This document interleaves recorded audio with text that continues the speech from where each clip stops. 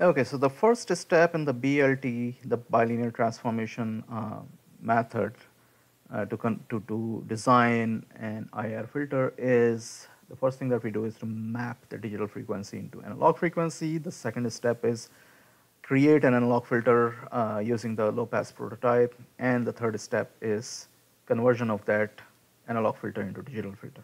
So we have covered number two and number three. This is number one. So how are we going to convert the, the given digital frequency, the digital specs of the filter into the um, corresponding um, specs for the analog filter? So uh, we discussed this, how to uh, map S point plane, uh, points in the S plane into points in the Z plane. Now we are looking for the frequencies in the analog domain mapped into the digital domain or in this case vice versa digital frequencies mapped into analog frequency. So if you have a cutoff frequency in the digital domain, let's say 1 kilohertz, and then you can you convert that 1 kilohertz into the um, angular frequency, cutoff angular frequency in the z domain in the digital domain, you're gonna get let's say omega d. Omega d represent let's say uh, an important frequency, cutoff frequency or center frequency, whatever in the digital domain. That omega d is gonna be located on the unit circle and this frequency is going to be mapped on the j omega axis omega. Corresponding frequency is going to be called or we are calling it omega a. That is the analog important frequency. I'm just going to call it important frequency. That's going to that can be cutoff frequency or any other frequency right? So again the the the blt the transformation uh, is is important. We are still using these right here. We are still using these equations, right? In this case, we're going to be using this equation, uh, going from Z domain to S domain. So we're going to be using this equation. Okay, so let's look at it. S is j omega a, right? It's mapped on j omega axis. And the corresponding point on, in the z plane is omega t or e to the power j omega t. Remember when we uh, when we do the frequency response from h of z, remember we substitute z is equal to e to the power um, j omega ts, right? e to the power j omega ts and then we take omega ts of course is equal to omega right. So, what we are going to do, this omega is going to be omega d. That is the frequency that is given to you in the digital domain. And we want to map it in the analog domain, in the Laplace domain. So, z is equal to e to the power j omega d t, t is ts, will be mapped omega d will be mapped in the analog plane. So, we are going to use S is equal to 2 over Ts z minus 1 over z plus 1. We are going to use that equation and substitute S is equal to j omega a and then z is equal to e to the power j omega d t or j omega d ts whatever you want to call it. And then we know omega d that is given to us, we know t given to us. So, we are going to plug those values in. Now, we are going to substitute it. Actually, first we are going to go ahead and simplify it. So, we simplified it and we created, we derived a relationship between omega a and omega d. So if you're calculating the corresponding omega A, you know omega D, you know T, you're gonna use equation 8.11. And if you're going back, if you know omega A and you wanna calculate omega D, then you're gonna use equation 8.12. If we plot 8.12 over here, that is we keep omega D on the y-axis and we are changing omega A on the x-axis, this is the graph that we are going to get. It's a graph we are going to get. Remember omega s is the sampling frequency. Remember in the digital domain, omega d goes from what? 0 to omega s by 2, right? Omega s by 2. All the frequencies you can observe in the digital domain from 0 to half of the sampling frequency or the folding frequency. So in the digital domain, omega d goes from 0 to omega s by 2. So when we are, when we, um, when we go from, in the digital domain, when we go from 0, y-axis is, you know, omega d, to omega s by 2, uh, and, and we plot it by changing omega a, then this is the curve that we are going to get. Now observe initially this curve is approximately linear, you know, still at 0.32 omega s you have 0.25, but then it starts becoming nonlinear and then it starts saturating. And of course it's going to saturate because you cannot have in the digital domain, you cannot have value greater than um, all the frequencies uh, can come in, um, you know, half of the cutoff frequency, uh, half of the sampling frequency, so 0.5 omega s.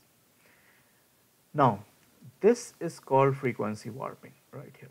When it becomes start becoming non-linear. When as long as it is linear, we can see that you know approximately the digital frequency is going to be the same as the analog frequency. But if your analog frequency is you know large frequency, then you have the non-linear relationship. That is your digital frequency and analog frequency will not be equal to each other. And that's called frequency warping. So, what we are going to do? We are going to the step number one is using frequency warping to convert the given digital frequency into equivalent analog ones. So we're going to use this equation right here. Omega d is given to us, digital frequency, Ts is given to us.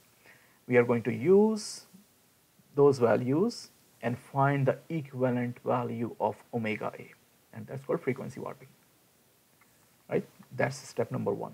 Once we have the value of omega a, that is the analog frequency, we are going to use the analog low pass filter prototype to design the analog low pass, high pass, band pass, band stop filters based on our requirement.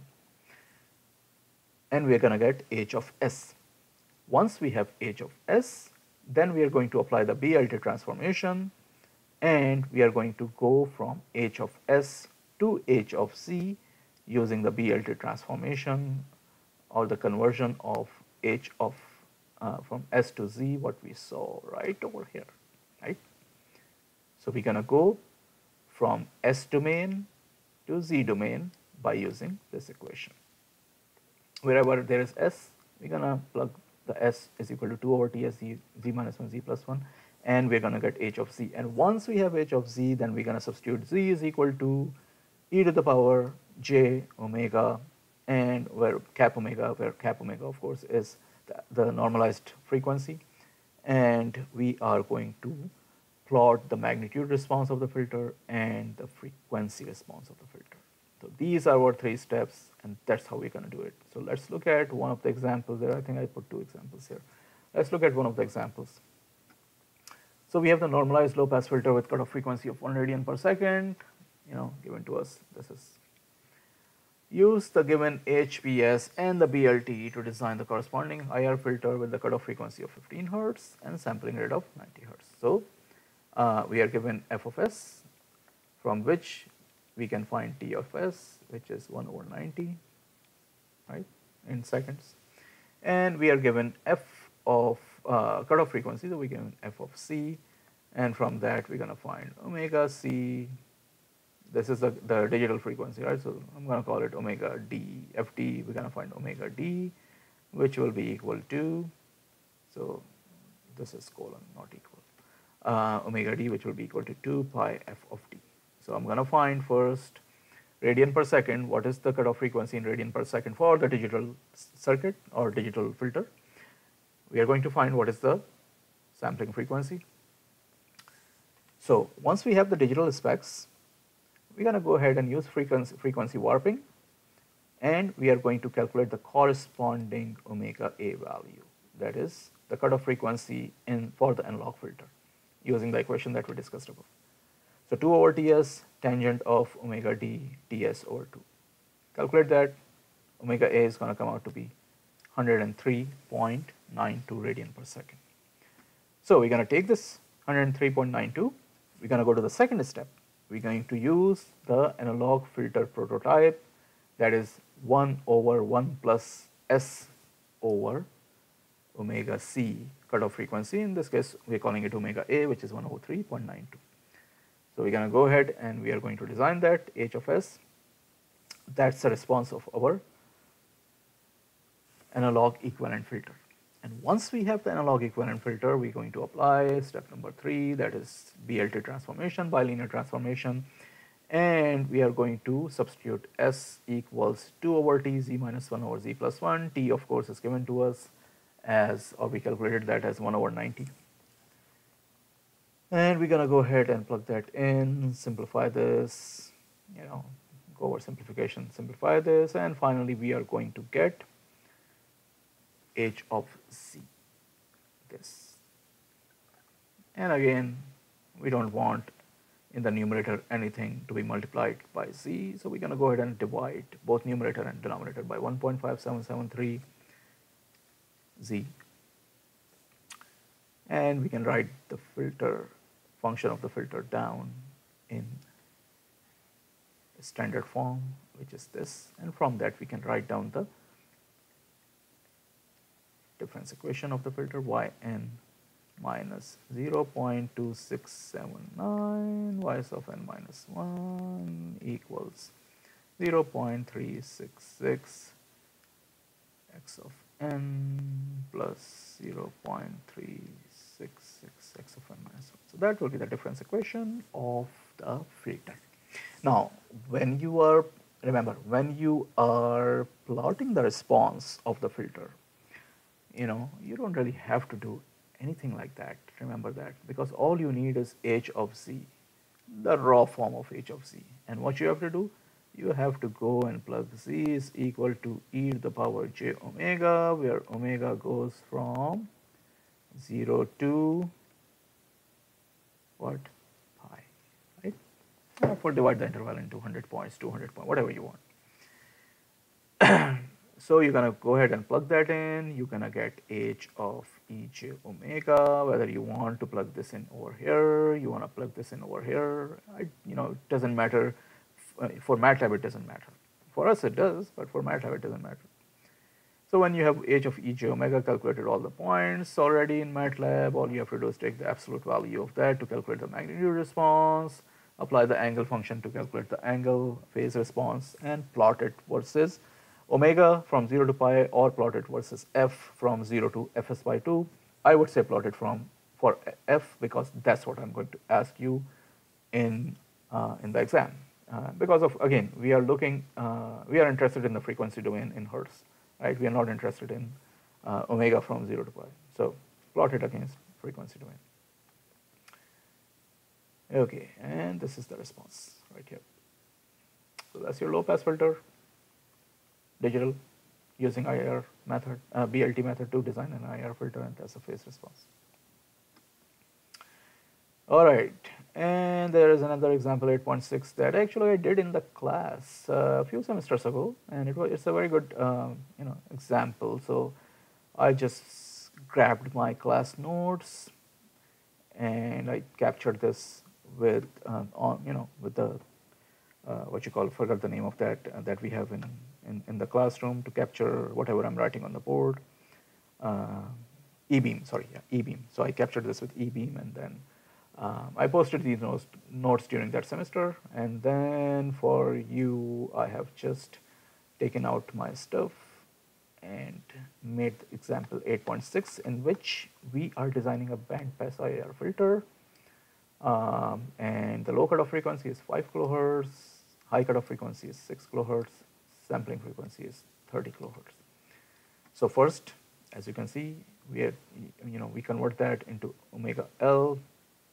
Oh, first we're going to do the, you know, pre-warping, um, calculate omega A. Omega A is the cutoff frequency. So you're going to cal calculate the lower cutoff frequency and upper cutoff frequency using uh, frequency warping, pre-warping, uh, once you have the analog values of those, so remember digital values were what? 5 kilohertz and 6 kilohertz. And analog values, uh, and of course, You can, you can convert it into uh, radian per second, but an analog value in radian per second are these. Uh, and then you go ahead and calculate the center frequency and the bandwidth in the analog domain. Then you use the low pass filter prototype and design the filter and I'm gonna just leave it uh, for you to go through it. Uh, we design the low pass filter and then we apply the BLT method, uh, simplify it and then finally we're gonna get our h of c right here. Right? And observe I'm not solving this right? I'm not solving this because my uh, you know I'm I was only going to plot the magnitude and the phase response. So I don't really need to divide the numerator and denominator by 6.27 yes but if I ask you to give me the transfer function uh, uh, uh, sorry the give me the uh, difference equation sorry. If I ask you to give me the difference equation or the standard form of transfer function then of course you're going to divide it and then you're going to show one coefficient with the highest power of z in the denominator so that when you write the difference equation, you don't have anything associated with y of n. You don't have 6.27 associated with y of n. Okay, I'm not doing that because I'm just plotting the response. So yeah, I didn't bother to convert that. All right, guys. So this is the end of chapter number eight. What we have to discuss.